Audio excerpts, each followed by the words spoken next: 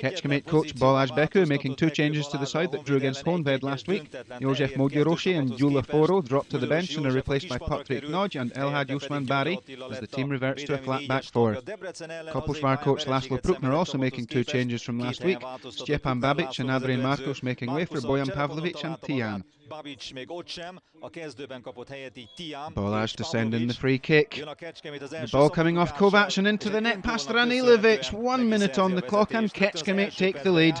Oliver Kovac putting through his own goal. Nudge to curl it in. Karan up for the header. Ranilovic with a reflex save. The ball still not clear. Karan once more, but blazes a shot over the bar. Forkos sending the ball forward long. Fuldesh underneath it, but heading the ball into the path of Balázs. Balázs is in behind the defence here.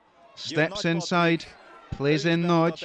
Nagy, Nagy into Grazie. 2 0. 21 minutes gone. Gabor Grazie the scorer. It all stemmed from the mistake by Fuldesh.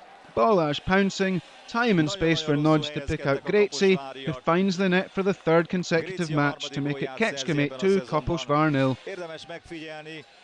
Körülötte nem volt ember.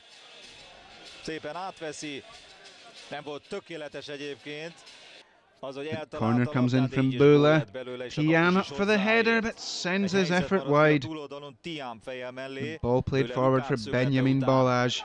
Balázs driving at the Kecskemét defence. Checks. Checks inside, tees it up for Tian.